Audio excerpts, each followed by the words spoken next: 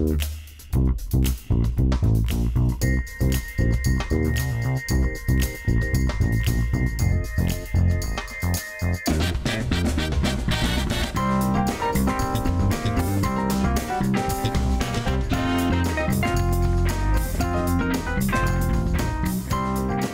una vez más estamos aquí ustedes y yo para cumplir esta cita con confesiones. Mi invitada de hoy nunca tuvo un plan B. Su destino siempre fue la música. Ella nació cantante y cantando la conoció el país. Un país que hoy está loquito por ella. Mariana Gómez es mi invitada de hoy en Confesiones. Bienvenidos.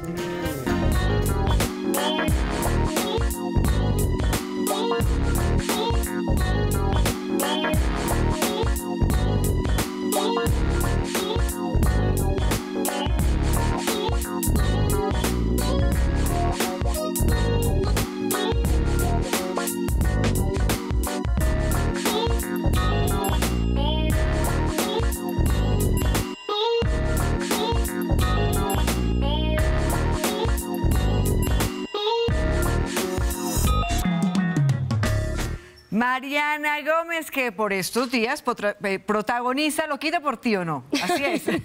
Sí, hola. Mariana, bienvenida a Confesiones. Muchas gracias, muchas gracias. ¿Está nerviosa? No. ¿No? No, estoy, me siento como, como bien, como, bien en acompañada. casa. ¿Usted siente que el país está loquito por usted realmente? Yo creo que están loquitos por Daniela. No creo que por mí. ¿Por qué? De pronto por mi personaje, por nuestros personajes, por, por la novela. Porque es una gran producción, unos grandes personajes, grandes actores. Por mí, pues me tendrían que conocer mejor para, para poder saber. Mire, si ella comienza ratificando algo que yo creía y es que eh, sea muy duro. Usted sea muy duro, ¿cierto? Yo soy muy autocrítica, sí, eso es verdad. Porque, porque sabía.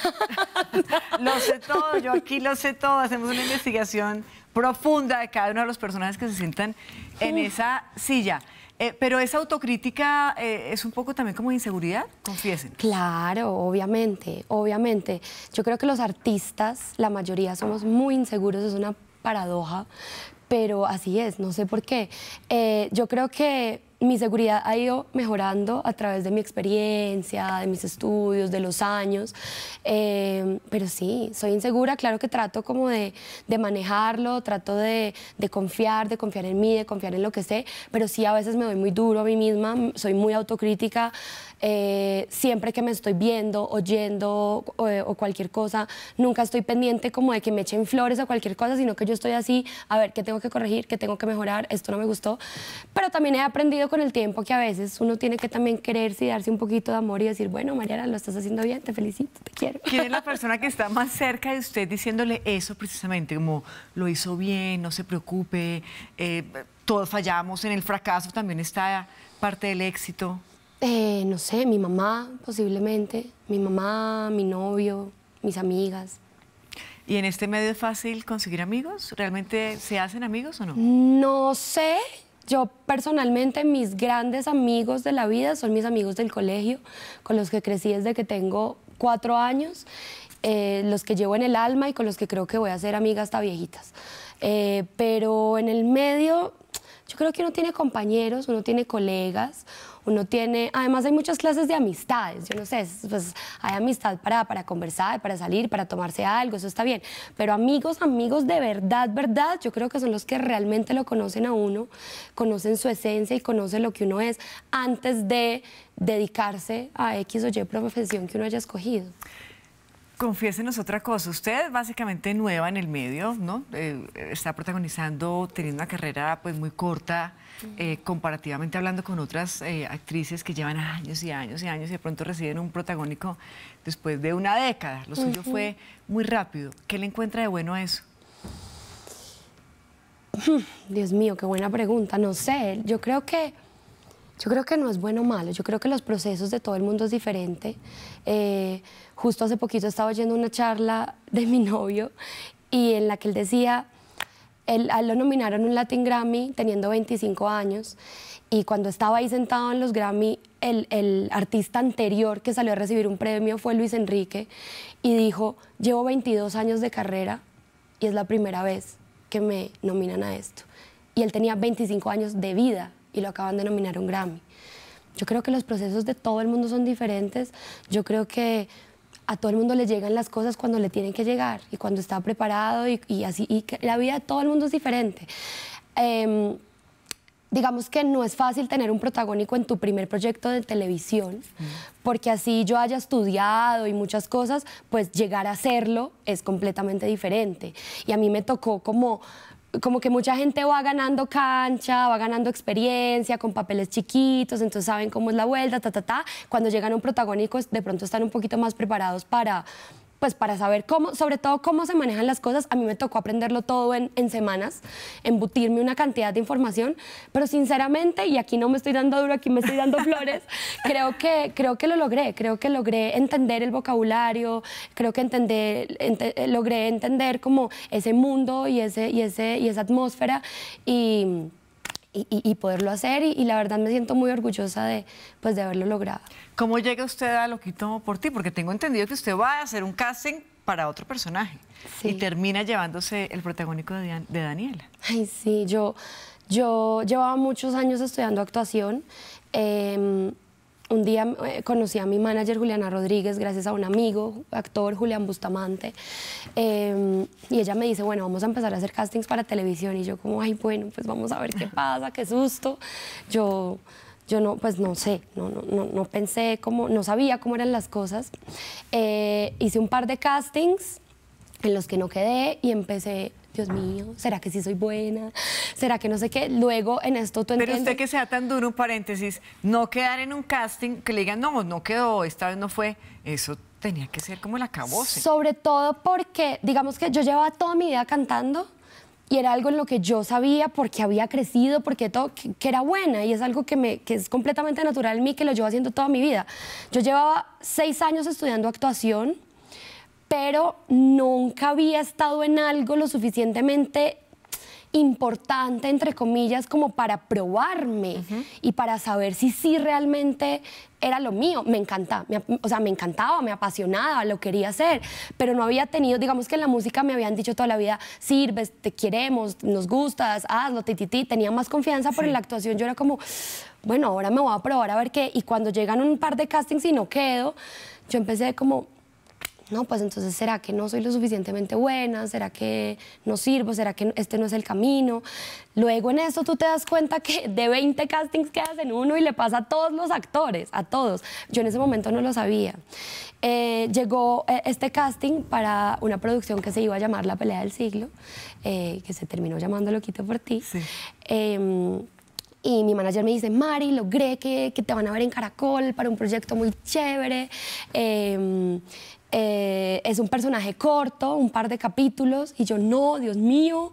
Y, leí un poquito de, la, de lo que se iba a tratar la novela, me dieron como una sinopsis y yo me enamoré. Yo ¿Qué personaje era? Era un personaje que creo que apenas acaba de salir del aire, que es una, una hippie universitaria. Em, muy chévere, muy bonito, me encantó. Pero secundario, secundario. Sí, pero para mí iba a ser como mi gran oportunidad. Entonces, para, yo me preparé, lo estudié, le metí toda, me busqué un vestuario brutal em, y nada, me fui con toda la actitud, recé, hice de todo y me fui para allá e hice mi casting y salieron los directores, eh, eh, Jaime Rayo y Andrés Birman, y me dijeron, hola, ¿cómo te llamas? ¿Quién eres? ¿De dónde saliste? Eh, nosotros estamos buscando a alguien como tú para el protagónico de esta novela. Y yo, yo casi me pongo a llorar. Y me dijeron, sí, te queremos hacer un casting. Eh, prepárate, me mandaron las escenas como a los tres días, hice el casting para Daniela. ¿Y usted no pudo dormir esos tres días? Yo me imagino. No, pues imagínate, o sea, yo, yo, yo decía, yo, yo solo pensaba que era como la oportunidad de mi vida, como lo que siempre había soñado, porque, pues porque es un personaje soñado, valga la redundancia, porque canta, porque toca, porque su vida es la música, porque iba a poder, yo estudié teatro musical hace muchos años, iba a poder por fin hacer las cosas que me han apasionado toda la vida, que es la música de la actuación. Entonces para mí era el proyecto soñado de mi vida. ¿Había miedo? Había mucho miedo, pero había mucha ilusión, había mucha esperanza y había como mucha... Yo solo decía, Dios mío, ayúdame a dar lo mejor de mí. Está en tus manos, si, es, si quedo o no, tú sabes lo que me conviene, ponme en el camino que tengo que recorrer, pero ayúdame a sentirme orgullosa de lo que voy a hacer ahí parada. Llegué, hice el casting eh, y a los pocos días me llamó mi manager y, y me dijo, hola Daniela. Y yo, Hola Daniela. Y empezamos a llorar y a llorar y a llorar.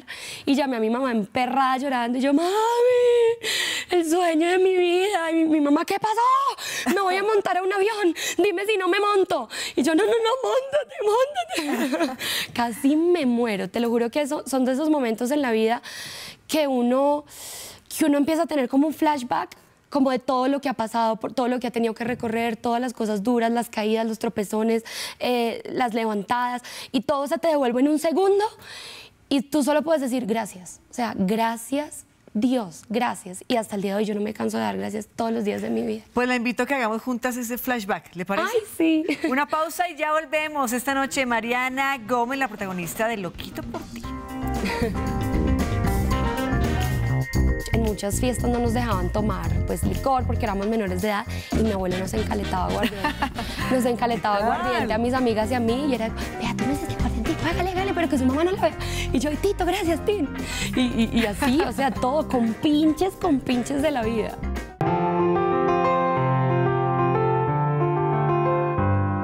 Mariana desde muy chiquita siempre ha sido como una viejita. Ella toda la vida ha hablado como una persona grande y me imagino que porque yo me separé cuando ellas estaban muy chiquitas, yo creo que asumió el rol no solamente de papá, sino también de papá y mamá. Ella desde muy chiquita dice qué se hace, cómo se hace, con las hermanitas toma partido en todas las decisiones de los permisos, donde sí pueden ir, donde no pueden ir. Mejor dicho, el abuelo es el amor de su vida, creo que por encima de mí.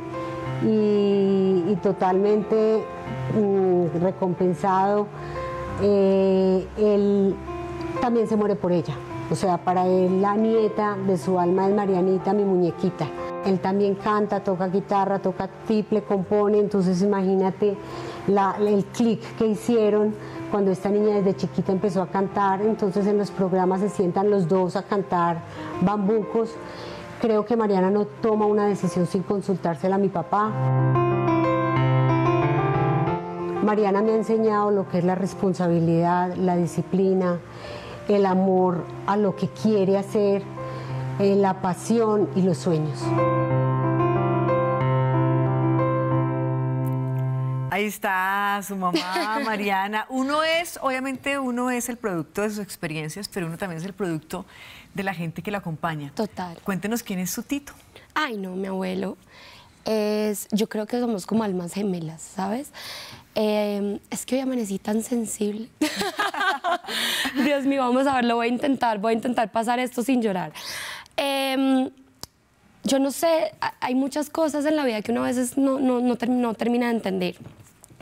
Cuando mi mamá estaba en embarazo esperándome a mí, su primera hija, iba a ser la primer nieta de mis abuelos, y se muere la mamá de mi mamá, o sea, mi Su abuela. abuelita Olga. Mi abuela Olga se murió eh, cuando mi mamá estaba de cinco meses de embarazo de mí. Y era el gran amor de la vida de mi abuelo. O sea, esa historia de amor de ellos dos es de esas historias que ya No existe. no ex- poquito existen. Eh, y yo creo que yo nací y yo no sé por qué esa conexión con mi abuelo es una cosa impresionante. Yo creo que puede tener algo que ver con eso. Yo, yo, yo creo en muchas cosas. Y mi abuelo y yo tenemos una conexión increíble, somos como almas gemelas. Eh, lo admiro, impresionante. Tiene una sabiduría que, o sea, sí, uno pensaría que es normal porque los abuelos son sabios, pero es que mi abuelo desde, desde joven, todas las decisiones que tomó en su vida, los consejos, eh, es tan moderno. O sea, yo a mi abuelo le puedo contar lo que sea. ¿En nos- serio? Y confiésenos algo que le haya contado, que de pronto no le haya contado a su mamá o a su papá y que sea un tanto escandaloso y que para él haya sido natural. No sé, no, en este momento preciso no me acuerdo de nada, pero por ejemplo, él es de los que me dice, ay, no se case todavía, vaya y arrejúntese. pues paisa, paisa. Súper paisa, vaya, arrejúntese, y eso, eso ya eso no importa. eso está mandado a recoger, pruebe con uno, pruebe con otro, a ver cómo le va. Y, y mi mamá es en shock porque mi mamá dice, a mí me tocó casarme para poder salir de mi casa porque no me dejaban hacer nada, pero a ti te dice vaya y pruebe y haga, me acolita absolutamente todo, todo, eh, desde que eh, cuando yo estaba muy chiquita, bueno, y esto, ay, uno, uno hoy en día tiene que tener un cuidado con lo que dice porque es que todo el mundo se le va encima con todo. Señores, niños, con todo respeto, no, no es para dar buen ejemplo, mal ejemplo, es para contar una anécdota. Es la vida real. y, no, y nuestra audiencia lo sabe, Mariana. Esto se llama Confesiones y aquí hablamos con la verdad en la lengua. Por ejemplo, cuando yo tenía como 15 años, eh, ya empezamos como las fiestas de 15, las amigas y los amigos y la rumba y no sé qué. Y pues en muchas fiestas no nos dejaban tomar pues licor porque éramos menores de edad y mi abuelo nos encaletaba aguardiente. nos encaletaba aguardiente a mis amigas y a mí y era, vea, tómese este aguardiente, hágale, hágale, pero que su mamá no la vea. Y yo, Tito, gracias, Tin. Y, y así, o sea, todo con pinches, con pinches de la vida. Usted eh, hace la aclaración de señoras, señores, por favor, este es un comentario que voy a hacer y que no se me vengan encima. ¿Siente que la fama le ha traído eso, como un poco de, juzgamiento por parte del país, de la gente? Pues mira, yo siento que me ha ido muy bien con el reconocimiento. A mí la palabra fama me parece como... Ah, porque es como que cuando tú hablas de fama...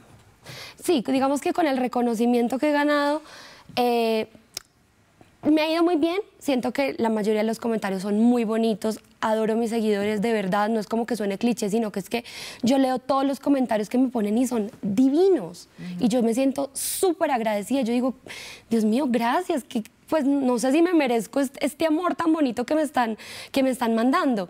Lo que pasa es que cuando ya tú pasas a ser un personaje público, la gente se siente con el derecho, como dices tú, de juzgar, de opinar y de señalar es como si al, tú hacerte público ya dejas de ser un ser humano común y corriente, entonces te toca ser perfecto, te toca hacer las cosas bien, te toca, no puedes decir... Y, de, alguna forma sí, tienes esa responsabilidad porque uno es un ejemplo, pero yo también siento que, que pues que yo, yo quiero ser yo. Confiésenos el disparate más grande que ha cometido en su vida, por lo menos en su juventud. Uy, no sé, pues mira, yo toda la vida he sido muy rebelde, pero no una rebeldía de de ser necia, consumir vainas, salir. No, en ese sentido, yo, como decía mi mamá, desde chiquita he sido como una viejita. Pero yo sí he sido muy rebelde en, no seguir las, las, lo, que la, lo que la sociedad nos impone. Lo de estudia, ve al colegio, ve a la universidad, trabaja, cásate, ten hijos, jubílate y muere yo no podría vivir así. Digamos, uno de los disparates más grandes de mi vida fue haberme salido del colegio. ¿En noveno se salió de la, del colegio? me salí del colegio eh, como a los 16 años porque me salió un, un, contrato musical y, y, yo tenía clarísimo que eso era lo que yo me quería dedicar toda mi vida. Así que tomé la decisión, yo dije, pues, yo fui a donde la directora, le dije, mira, me salió este contrato, tengo que ir a grabar un video, tengo que hacer promoción, me tengo que ir un mes a Bogotá, tengo que ir, tengo que ir todos los, todas las tardes al estudio de grabación. Y la directora me dijo, Mariana, no hay posibilidad de que te demos esos permisos. Y yo le dije, perfecto, entonces este colegio ya no es para mí, gracias por todo. Y me fui.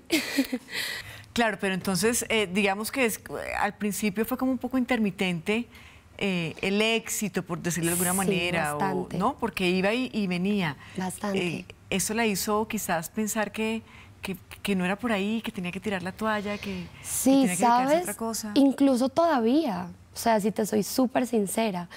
Ayer alguien me preguntó, oye Mari, ¿cómo va la música? Entonces yo le dije, no, pues está más bien quieta, ahorita estoy mucho más dedicada a la actuación.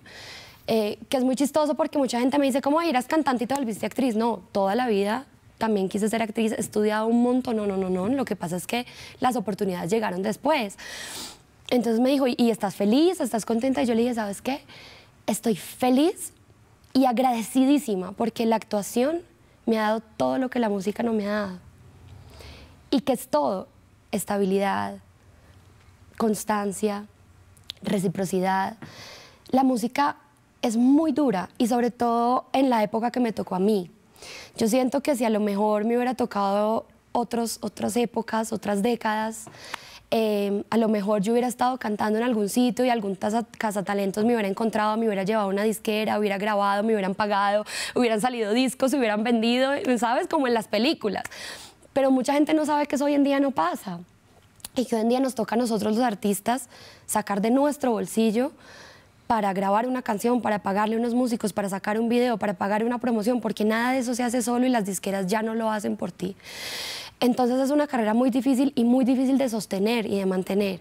Entonces a mí no me da vergüenza o no, o no, o no me importa aceptar que sí, que, que, que, que he logrado hacer cosas con la música y de repente no han sido posibles de sostener, pero es precisamente por, por falta de apoyo de muchas, de, de, la radio, de, de, muchas cosas que ya funcionan muy diferente a antes, que está muy, muy sucio todo, está muy contaminado.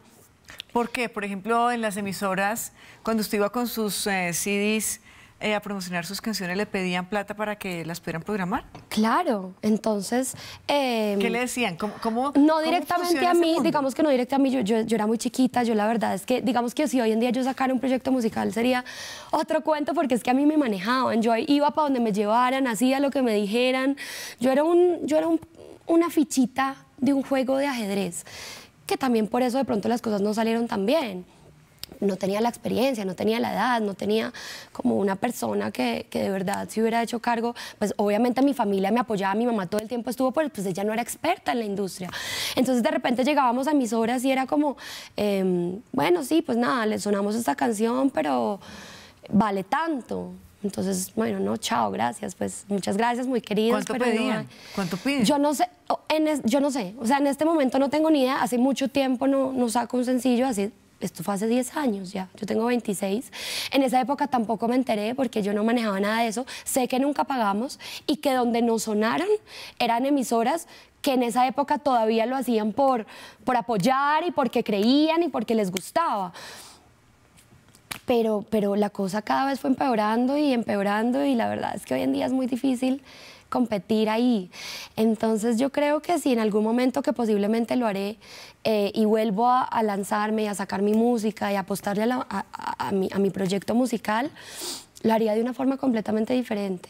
Pero sería, por ejemplo, por el género urbano, que básicamente los artistas van a la fija, cualquier canción, la que usted quiera, todas pegan, es increíble. ¿Del reggaetón? pues mira, yo creo que a mí toda la vida me han preguntado, ¿tú qué género eres? Pues, Mariana, ¿qué género canta? Y yo digo, es que yo no, yo no soy un género, yo soy un artista de canciones. O sea, ¿tú en qué género pones a, no sé, ¿tú en qué género pones a Enrique Iglesias? O sea, de verdad, Enrique Iglesias ha hecho electrónica, pop, rock, reggaetón, baladas. ¿Tú en qué género pones a Shakira hoy en día? Es imposible. Shakira es Shakira. Y yo, y yo creo lo mismo. O sea, yo creo que uno se debe acoplar al momento por el que está pasando la música sin perder la esencia. Y al final, el género no es más que un ritmo. ¿Qué define el género de una canción? Su ritmo. Pero eso, eso no va a hacer que una canción sea buena o mala, o no, ¿me entiendes? Simplemente es como que yo, yo compongo una balada y de repente me reúno con los productores y me dicen como, ven, esta canción le podemos dar la vuelta por aquí para, para hacerla más, más sonora, más comercial. Y si de repente eso va a tener un beat urbano, no tengo ningún problema desde que sea una canción de la que me siento orgullosa, una letra de la que me siento orgullosa, una música de la que me siento orgullosa. ¿Y se siente, hablando de sentimientos, un poco frustrada de no haber empezado por la música, sino por la actuación? Cero, cero frustrada. Antes estoy feliz, o sea, mira, yo, mi, pasión por la música y por la actuación es igual. Yo no podría quedarme con una de las dos y quiero dedicarme a las dos por el resto de mi vida. Hace muchos años, pues no tampoco tantos, hace un par de años, ponle dos, tres o cuatro. Sí, cuando uno tiene 26, cinco años es un curvo, tranquila. Yo, yo tomé una decisión personal que fue, voy a dejar la música a un lado, porque esto se me había vuelto un peso en mi vida. Porque yo decía, yo me vine a vivir a Bogotá sola hace cinco años, yo tenía que trabajar, tenía que sostenerme, tenía que pagar mis vainas. Y yo decía, ¿yo de dónde voy a sacar plata para para pagar una canción, para, para competir con los, con los artistas de hoy en día, con los videos que sacan, con las canciones que sacan, con... es que no tengo cómo. Entonces yo, yo y yo sufría mucho y, tenía mucha presión todo el tiempo y, y, decía, ¿y qué voy a hacer? ¿Y qué va a pasar conmigo? ¿Y qué va a pasar con mi vida? ¿Y para dónde voy a coger? Y un día dije, ya, ya. Si en algún momento, en unos años, vuelve a pasar, pasa, pero ya me voy a sacar esa idea de la cabeza y lo voy a dejar a un lado. Y tú no sabes el peso que me quita encima. Y ahí fue donde dije, llevo muchos años estudiando actuación, voy a seguir haciéndolo y me voy a enfocar en, en esto también, como para, para, pues para poder hacerlo, para por fin poder desarrollar algo que tengo, ah, llevo muchos años queriendo hacer. Y mira que la actuación me, pues me ha regalado la tranquilidad, la estabilidad, la felicidad, mil alegrías y amo actuar, amo actuar. Entonces para mí no es que haya empezado con la actuación, yo empecé con la música. Que me hayan reconocido hoy en día más por la actuación, pues es una cosa eh, circunstancial. Entonces, no, para mí no es como bueno o malo, simplemente así pasó. Y posiblemente más adelante me vuelva a animar a, hacer música ya desde otro punto, y, a lo mejor lo disfrute más otra vez, porque... ¿Se sigue viendo, a veces se busca en YouTube para ver sus videos en La Voz Colombia o no? Sí, claro. ya hablamos de eso, una pausa, porque esta niña también estuvo en ese reality. Entonces me dicen como, bueno, Mariana, mira, eh, ya vas a salir al escenario, entonces di, eh, aquí la que voy a ganar soy yo. Entonces yo me imaginaba que a ella le estaban diciendo que dijera lo mismo y que iba a ser un chiste. Entonces yo dije como, mira, aquí la que voy a ganar soy yo, sorry, no sé qué. Claro, esto sale en televisión. Qué antipática, qué odiosa. ¡Qué odiosa!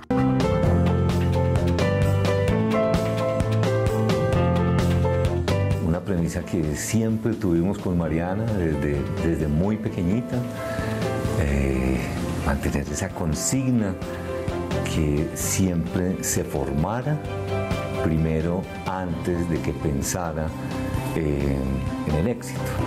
Es decir, la premisa era muy, muy sencilla. Primero artista que famosa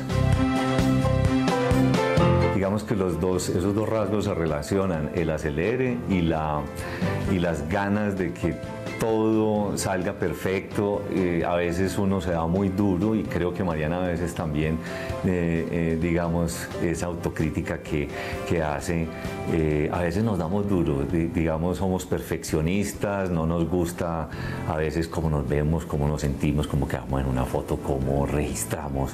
Mari, un saludo con todo el corazón, sabes que te amo, sabes que te quiero, que te pienso todos los días.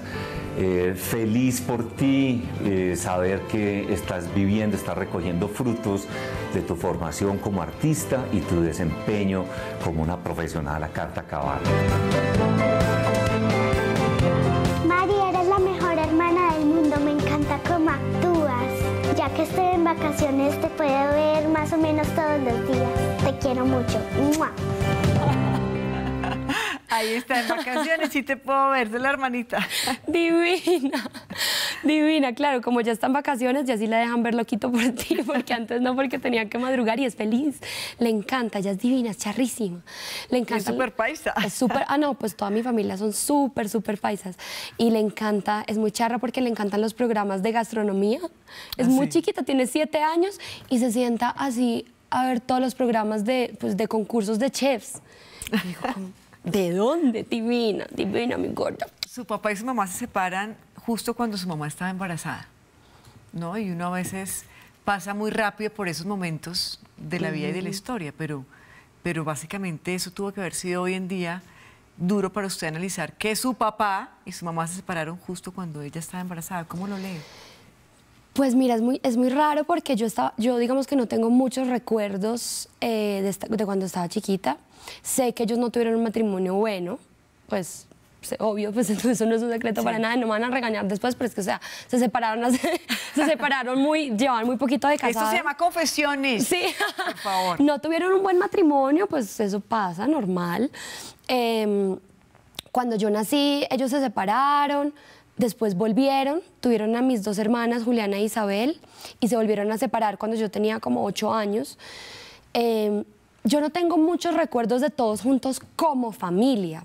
Entonces para mí fue muy normal haber crecido con papás separados. Digamos que nunca extrañé como mucha gente que, que grande sus, sus, papás se separan y es como un caos, como mi familia y mi, y mi, papá ya no está en la casa. No, para mí no fue tanto eso porque no, mi papá vivió mucho tiempo acá en Bogotá mientras estaban juntos, entonces también muchas veces no estaba en la casa.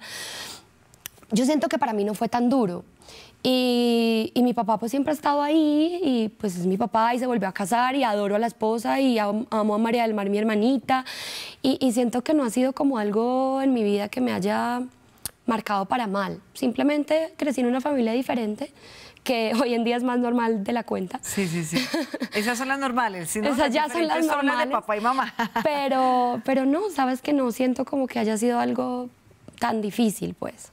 ¿Quién le dijo que se presentara a La Voz Colombia? Mi mamá y mis amigas, mis mejores amigas. Eh, mi mamá, creo que un exnovio como que toda la gente que me, que me rodeaba en esa época de mi vida, yo acababa de llegar de Estados Unidos, de estudiar, había llegado como, ¿ahora qué?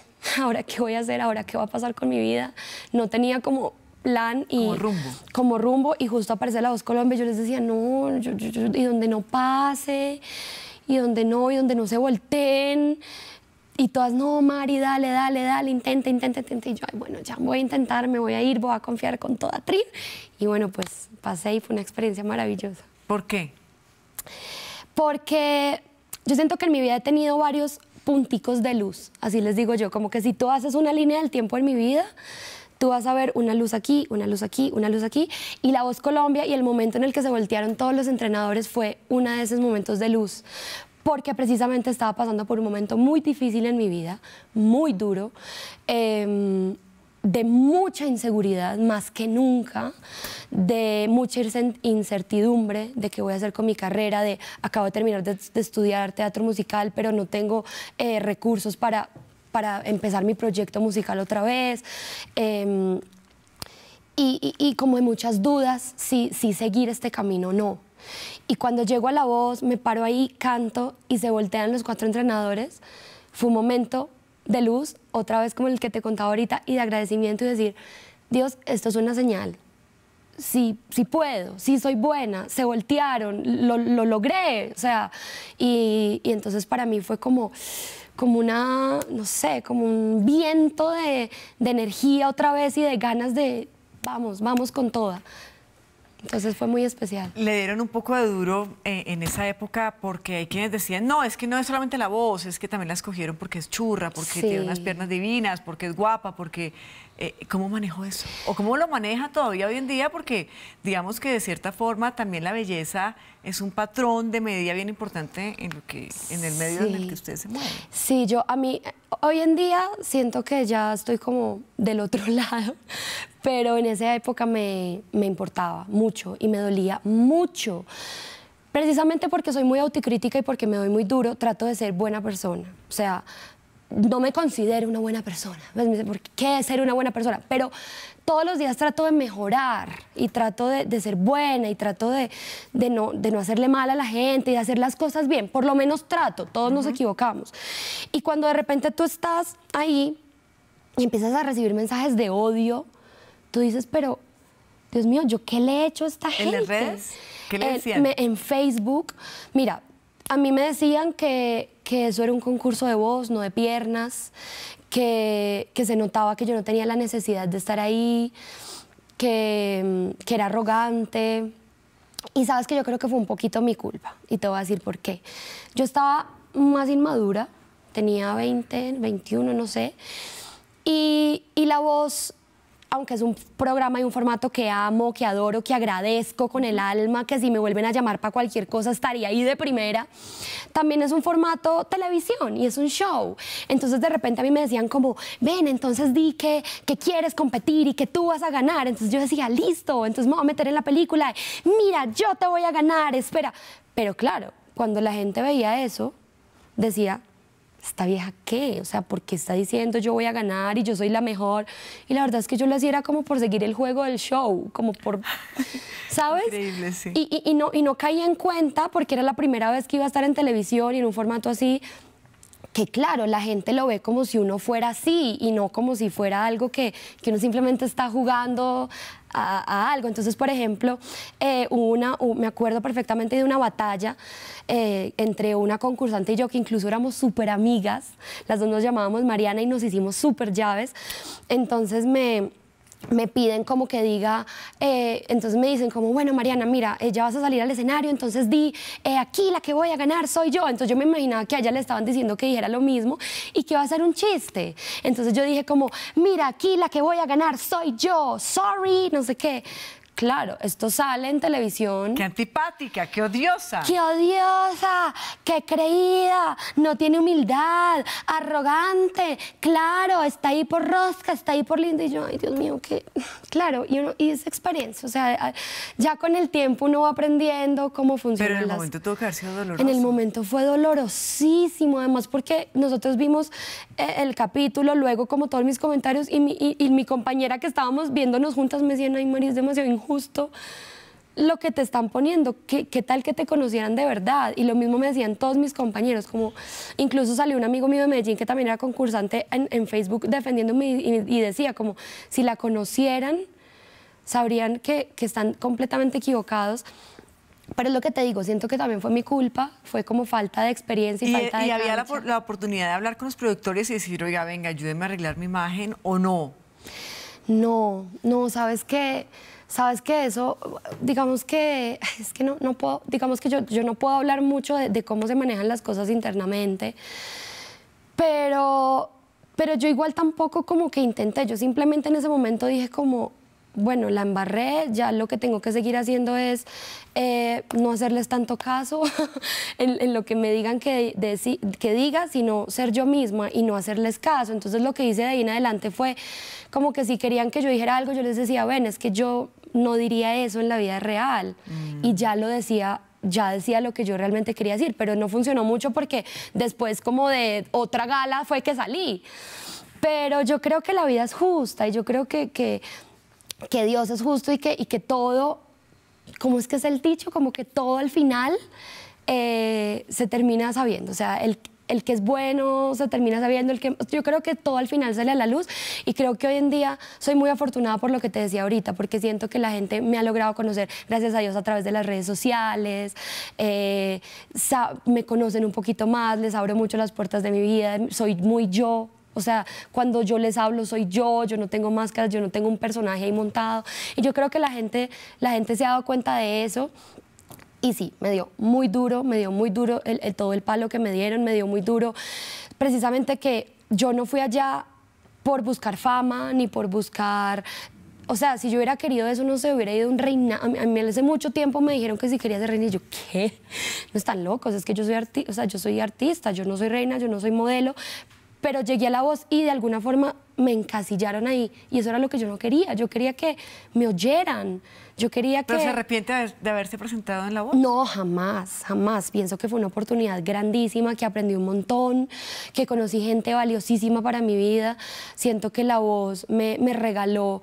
Eh, experiencias y amigos como Andrés Cepeda, como, como mis compañeros, me abrió puertas, me ayudó a hacerme conocer que de alguna forma, cuando tú, cuando tú eres un poquito más reconocido, digamos, eso no me ayudó a, a, ganarme nada, ni castings, ni nada de eso, porque eso fue muchos años después. Sí, pero le dio experiencia. Pero me dio experiencia y me dio visibilidad y en esa época empezó el boom de las redes, entonces con esa visibilidad empecé a ganar seguidores y con ¿Cuántos eso... ¿Cuántos seguidores tiene? Hoy en día en como Instagram. 250 mil ahorita. Wow, bueno, ahí está, vamos bien. Mariana Gómez, nos queda un segmento, no se muevan, ya volvemos. Creo en los ángeles, creo en la Virgen, creo... No soy muy religiosa porque no estoy de acuerdo. Siento que después de tantos y tantos y tantos y tantos siglos es imposible que nosotros sigamos cumpliendo unas vainas que, o sea, no. Estuvimos juntos trabajando en Medellín y creo que ahí es donde hizo clic como nuestro amor eh, en una adaptación de Romeo y Julieta, en un musical que hicimos en Medellín en el 2015, donde ella era Julieta y yo era Romeo. La primera vez que estábamos haciendo el ensayo de besos en Romeo y Julieta, eh, yo en mi experiencia actoral, cuando el director nos dijo, tienen que darse un beso, le di un beso normal. Y resulta que los actores y actrices no se dan besos reales, pues besos con lengua y todo eso. Entonces eso fue una situación bastante incómoda para todos. Bueno, nos dimos el beso y cuando dijeron corten, Mariana, este man me metió la lengua, no sé qué. Entonces yo ahí me sentí obviamente súper mal. De eso nos reímos mucho. Yo creo que lo que más le saca la piedra a ella es cuando se impacienta. ¿Y a qué voy con eso? Es eh, que las cosas no pasen cuando ella quiere, que la gente no cumpla con los tiempos que le ha dado y eso, eso la pone de pésimo genio. Mari tiene el problema, y de hecho estuvimos buscando en internet cómo se llama, porque ella no reconoce las caras de gente con la que ha compartido durante días. Los puede volver a ver tres o cuatro días después y no reconoce las caras. Eh, y encontramos que sí, es una, es una condición, entonces pasa por muy antipática muchas veces. Hay una canción de Nietzsche que se llama Nuestro Sueño, que nos gusta mucho a los dos porque nos gusta mucho bailarla y como, como está cantada, siempre nos llamó la atención y yo creo que esa podría ser como nuestra canción. Realmente cuando la oímos no es como que nos la hayamos dedicado, sino que la canción en sí nos gusta mucho y pues obviamente entraría perfectamente. Cada uno le ha escrito al otro canciones. Mariana me escribió una canción súper linda que tiene por ahí publicada en Instagram. Yo, eh, si Dios quiere, la que, la que le compuse a ella seguramente hará parte de mis próximas producciones. Ay, como dice nuestro sueño, no tiene que. No, pero es la famosísima, pues, la de. Sí, pero en su voz ¿Cuántas veces escuché? No puede ser. Para, pam. Por ahí leía yo en, en estas revistas de farándula eh, que le han armado como una especie de show mediático porque usted trabajaba con una ex Mm. de su novio. ¿Cómo lo, ¿Cómo lo tomó en realidad usted? Más allá de, de la información, porque este no es un programa de, de farándula. No, pues ay, la verdad como que no le paro bolas a eso, es algo que no, o sea, la- yo sabía que iba a ser curioso de pronto para los programas de chismes y esas cosas como esa situación, pero para nosotros fue como cualquier cosa, para nosotros no, no fue ¿Quién es algo... la ex? Eh, Daniel Arciniegas, no, o sea, no, a ver, no es eso, la, la vaina fue... eh, mi exnovio, pero de hace muchos años, es esposo de una colega con la que trabajé en Loquito por ti. Pero, o sea, es como que esas cosas pasan, ¿me entiendes? Sí, Como que obvio. Es, es normal y en este medio hay mucha gente pues que, que, Pero que ahí ha está la prensa rosa Claro, entonces de- todo el mundo estaba que pendiente como, ay, entonces le tocó actuar con la esposa de su exnovio y a su novio, no sé qué, pero pues pero para nosotros fue como, ah, o sea, sí mucho caímos en cuenta, ¿me entiendes? Pero, pero nada, pues, eso, eso lo sacaron y yo creo que a ninguno nos afecta, pues como que no dicen nada malo, no dicen nada bueno. ¿Siente que la prensa, no las redes, porque son dos cosas distintas, la prensa se porta bien con usted? Sí, yo creo que sí. Yo pues, la verdad no le paro muchas bolas a la prensa de, de chismes, eh, porque pues no es como lo que me gusta leer mucho, ni lo que sigo, ni les creo mucho de, de lo, que, de lo que escriben muchas veces. Eh, pero digamos que he hecho un par de, de entrevistas y fotos muy bonitas, muy bien hechas, muy bien manejadas y creo que, que se han portado muy bien conmigo, no han, no han escrito nada grave, más de la cuenta o, o mentiras que yo me haya enterado. Nada raro que haya salido por ahí alguna cosa que ni me enteré. Confiésenos, ¿es verdad que todavía en la casa de su mamá está toda la colección de Barbies tenía cuando pequeña? hasta hace muy poquito, hasta hace muy poquito. Yo tenía toda la colección de la Barbie y sabes que yo creo que ahí empezó mi amor por la actuación. ¿Por qué? Porque yo cogía la Barbie y montaba una película. No era como, hola amiga, ni sé qué, las vestía, no, sino que era como, ¿por qué me has hecho esto? Me, me- me fuiste infiel, no sé qué, súper dramática. Entonces la Barbie lloraba y yo lloraba y era muy chistoso porque a mí me daba pena y todo, como que yo estaba jugando a la Barbie, entonces la Barbie se ponía triste y empezaba a llorar y yo empezaba a llorar. Y yo era como que, ok, que no vaya a llegar mi mamá, que no vaya, y me ve aquí llorando. Pero yo creo que desde ese momento yo me empecé a meter en un universo paralelo, que es el, el- el universo de los personajes. ¿En qué cree usted, Mariana? Creo en Dios, como ¿En qué Dios cree? creo en Dios, no creo en Dios, en el Dios de ninguna religión, sino que creo en el Dios que es el ser supremo, la luz, el universo, como le quieran llamar, pero en ese, en ese ser supremo y poderoso y que está creador y que está por encima de todos, como le quieran decir. Eh, hablo con Dios, creo en los ángeles, creo en la Virgen, creo, no soy muy religiosa porque no estoy de acuerdo, Sien- siento que después de tantos y tantos y tantos y tantos siglos es imposible que nosotros sigamos cumpliendo unas vainas que, o sea, no, pero, pero sí creo, o sea, creo que uno, uno debe, yo me aferro mucho a Dios y a la fe. Y yo creo que eso es lo que me ha permitido estar donde estoy. Eh, mi frase más de cajón es Dios sabe cómo hace las cosas, entonces siempre que algo no me sale o que algo me falla o que algo no está bien, yo digo, Dios mío, gracias, porque tú sabes cómo haces las cosas, todo lo que me ha pasado en mi vida, todo lo bueno, lo malo, etcétera, es lo que me ha llevado a ser quien soy, a estar donde estoy y agradezco absolutamente todo y yo creo que eso es Dios. ¿Se siente que es un alma vieja? ¿Usted siente que en el fondo habita una mujer vieja? No sé, a veces creo que sí, a veces creo que no. Cuando se toma sus aguardienticos cree que no, pero cuando no, entonces sí. Yo creo que de pronto si habita un alma vieja, yo, yo, yo, yo siento que soy muy, muy vieja para mi edad, por ejemplo, yo no me, yo no me considero, eh, ¿cómo es que se, cómo es que les, cómo ¿Millennial? Es que les- millennial. Y sí soy millennial, pero yo no me considero millennial. A mí, a mí todavía me hablan, me habla la tecnología y, y hay cosas de Instagram y de YouTube y esas cosas que yo no entiendo y que yo digo, pero, pero ¿por qué un youtuber es tan famoso? No entiendo, no entiendo, ¿me entiendes? Y eso es de mi generación. O con la música, por ejemplo. A mí la música de antes, los boleros, el rock viejo, la música clásica, es lo que realmente despierta en mí cosas grandes y emociones, el arte, las películas. Eh, me gusta conversar, es muy chistoso porque así como me siento con mi abuelo cada que voy a la casa de él, yo nunca fui a sentarme con mis primos a jugar. Yo llegaba a la casa de mi abuelo, a sentarme en la sala con él y con mis tíos abuelos a conversar. Y así mismo soy, por ejemplo, en las producciones, en Loquito por ti, mi mejor amiga de Loquito por ti es Luces Velázquez. O sea, Luces es una señora ya grande, eh, con hija, eh, y, y nos hicimos así, y es con la que me hablo todavía más que con cualquiera, con la que más le cuento cosas. Y en, y en La Reina del Flow fue muy parecido, con la que más clic hice fue con Adriana Arango, que era como la, la mayor. Y así ha sido siempre. No sé si se trata de ser alma vieja o no, de pronto es como de intereses, de gustos.